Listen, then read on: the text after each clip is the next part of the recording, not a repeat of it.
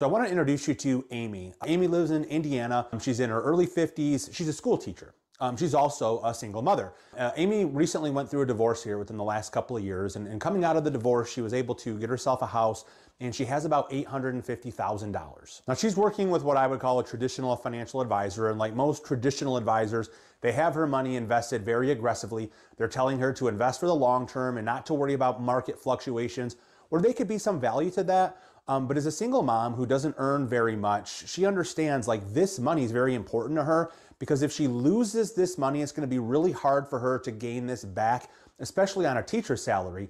And when we saw that big market correction or that market dip in 2022, that really made her nervous. So she saw some of my online content, reached out to me for a meeting to see if we could do something a little bit different. And after looking at her situation, we were really excited about what we were able to do to help improve her situation by lowering her risk, increasing her income, but also having enough money left in the growth bucket, so to speak, uh, to still grow that money for the future.